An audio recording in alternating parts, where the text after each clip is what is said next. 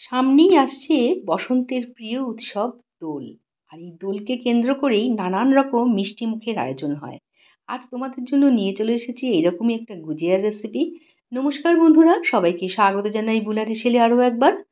আমি আজকের গুজিয়া বানিয়ে দেখাবো না কোনো ময়দা, না কোনো আটা, সামান্য এক কাপ সুজি দিয়ে আমি আজকের এই গুজিয়াটা বানিয়ে দেখাবো।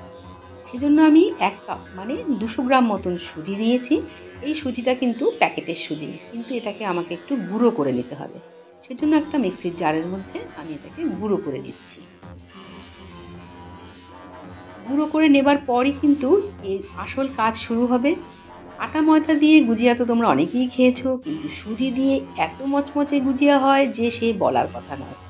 এইভাবে একটা থালার মধ্যে ঢেলে নিয়েছি পুরো গুঁড়োটাই এবার এটাকে জল দিয়ে মেখে নেব। নর্মাল জল দিয়ে এটাকে মেখে নিতে হবে।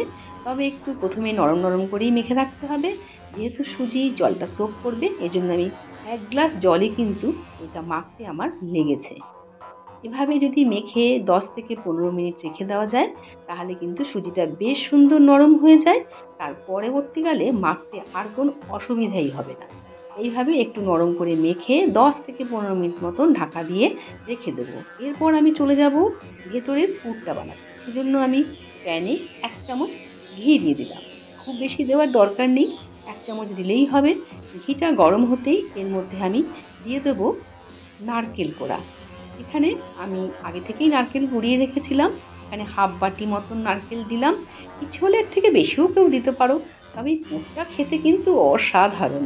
এটা এমনি খেতেও দারুণ লাগে। নারকেলটা সামান্য কয়েক সেকেন্ড ভেজে নেওয়ার পর এর মধ্যে আমি মাত্র দু চামচ মানে দুই টেবিল চামচ মতন সুজি আমি দিয়েছি। নারকেলের সঙ্গে সুজিটাকেও খুব ভালো করে একটু ভাজা ভাজা করে নেব। এটা কিন্তু আমি একদম গ্যাসের আজকে লো ফ্লেমে রেখেই করছি।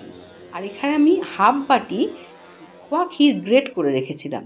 সেটাও দিয়ে দিলাম। ঘিয়ের সঙ্গে সমস্ত উপকরণগুলোকেই একটু ভেজে নিতে হবে যাতে এর কাঁচা গন্ধটা চলে যায়। তারপর এর মধ্যে ইচ্ছে মতন ড্রাই ফ্রুট কাজু, কিশমিশ, ইচ্ছে হলে কেউ আমন্ড বাদাম, পেস্তা বাদাম, যা খুশি তাই দিতে পারো নিজেদের ইচ্ছে মতো। সবগুলোকেই একটু নাড়াচাড়া করে নিয়ে তারপরে একটা থালায় এটাকেও ঢেলে ফেললাম। এটাকে ঠান্ডা করতে হবে। ভাবছ চিনি কোথায় গেল? মিষ্টি তো দিল না কিছু। আমি কিন্তু এটা চিনি দিয়ে আজকে করব। এদিকে আমার পনেরো মিনিট হয়ে গেছে, এবারে খুব ভালো করে এই সুজিটাকে মেখে নিতে হবে। একেবারে মসৃণ যেন হয়ে যায় সেরকম। যেমন করে আমরা লুচি মাখার মতন ময়দা মাখি, ঠিক সেরকম। দেখো আমার মাখা কিন্তু হয়ে গেছে। চার পাঁচ মিনিট ধরে খুব ভালো করে এটাকে একটু মেখে নিয়েছি, তারপর ছোট্ট ছোট্ট লুচির মতন করে বল বানিয়ে যারা আজকের ভিডিওটা আমার প্রথম দেখছ, ভালো লাগলে অবশ্যই চ্যানেলটাকে সাবস্ক্রাইব করে বেল বাজিয়ে পাশেই থেকো। আর নতুন বন্ধুদের স্বাগত জানাই। এদিকে চলে এসেছি, আমার সেই পুরটা কিন্তু ঠান্ডা হয়ে গেছে। এবারে এর মধ্যে আমি কোনো রকম চিনি মেশাবো না। আমি এখানে পাটালি গুড়কে গ্রেট করে রেখেছি, সেটাও দিচ্ছি। তোমরা ইচ্ছে হলে যে কোনো গুড় দিতে পারো, কিন্তু এখানে কোনো রকম ভেজা গুড় দেওয়া যাবে না। আমি একটু চেক করে দেখে নিচ্ছি, মিষ্টির পরিমাণটা প্রয়োজন মতো মিষ্টি এখানে দেবে। প্রায় এক কাপ মতন গুড়ি আমি গ্রেট করে রেখেছিলাম, সেটা দিয়ে দিলাম। এদিকে এবার আমি ছোট্ট ছোট্ট লুচি বেলে নেব। আর এমন কোনো কষ্ট না, আমাদের বাঙালিদের প্রত্যেকের ঘরে ঘরেই আমরা লুচি খাই। সেরকমই লুচির মতন বেলতে হবে। আর দেখো, বেলতেও কোনো অসুবিধা হচ্ছে না, একটুও ফেটে যাচ্ছে না। বেলাটা কিন্তু একদম পাতলা হতে হবে। মাঝখানে এক চামচ বা দেড় চামচ মতন করে দুধটা যেন খুব ঝুরঝুরে হয়, সেটা দেখবে তা না হলে কিন্তু এই জিনিসটা বানানোর পর নরম হয়ে যাবে। এটা কিন্তু অনেক দিন সংরক্ষণ করে রাখতে পারবে এবারে আমি হাতে করে জল লাগিয়ে, সেই লুচির চারপাশে লাগিয়ে, তারপরে ধরে চেপে দিলাম।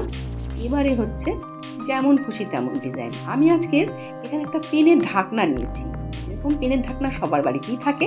সেই ঢাকনা দিয়ে দেখো কত সহজ কাজ। একদম ইজি বাচ্চারাও এটা করতে পারবে। আর ওদেরকে দিলে তো খুব মজাই পাবে করতে। এইভাবে গোল গোল করে কেটে নিতে হবে। আর কিচ্ছু না, ভেতর থেকে এগুলোকে বাড়তি অংশগুলোকে তুলে কিন্তু ফেলে দিতে হবে। আমি সেগুলো একটা ছুরির মাথার সাহায্যেই করছি, তবে এটা করতে একটু সময় তো লাগবেই। জিনিসটা দেখতে কিন্তু দারুণ লাগবে আর ধীরে ধীরে দিলে পড়তো মানে দোলের দিন এরকম একটা মিষ্টি যদি সবাইকে দেওয়া হয়, মন ভরে কিন্তু সবাই খাবে। তারপরে আমি একটা টুথপিক দিয়ে এরকম একটু ডিজাইন করে দিচ্ছি, তবে ডিজাইনটা আমি সবগুলো করব না, আমি একটাই মাত্র একটা দুটো করে তোমাদের দেখাচ্ছি, এরকমভাবে বাকিগুলো কিন্তু আমি শুধু গোল ডিজাইনই করব। আমি একটা থালার মধ্যে একটু ময়দা ছড়িয়ে তার উপরেই এগুলো রাখব। দেখো, এতগুলো বানানো হয়ে গেছে। এবার চলে যাব ভাজতে। কড়াতে তেল বসিয়ে দিয়েছি, কিন্তু একেবারে গরম নয়, হালকা গরম তেলে এগুলোকে ভেজে নিতে হবে। একটু সময় নিয়ে উল্টে পাল্টে। খুব বেশি গরম তেল দিলে কিন্তু উপরটা তাড়াতাড়ি পুড়ে যাবে, ভেতরটা মানে ভেতরটা না মানে মচমচে ভাবটা আসতে দেরি হবে। যেমন করে আমরা সিঙ্গাড়া ভাজি সিঙ্গাড়া ভাজার সময় কিন্তু একেবারে হালকা গরম তেলে সিঙ্গাড়া ভাজতে হয়। ঠিক সেরকমভাবে গুজিয়াটাও ভাজতে হবে। এইভাবে তিন চার মিনিট ধরে ভালো করে ভেজে এরকম লাল লাল করে তুলে নেব একটা টিস্যু পেপারের ওপর, বাড়তি তেলটা সোক করে নেবে। তারপর আর কি পরিবেশনের পালা, কতটা ক্রিস্পি আওয়াজটা শুনেই বুঝতে পারছ।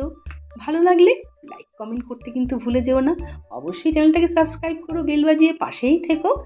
আবার দেখা হবে নতুন কোনো ভিডিও নিয়ে। আওয়াজটা তোমাদের দেখিয়ে দিচ্ছি, না শুনিয়ে দিচ্ছি। কে কে বানালে আমাকে কিন্তু কমেন্ট করে জানাতে ভুলে যেও না। খেতে তো অসাধারণ হবে।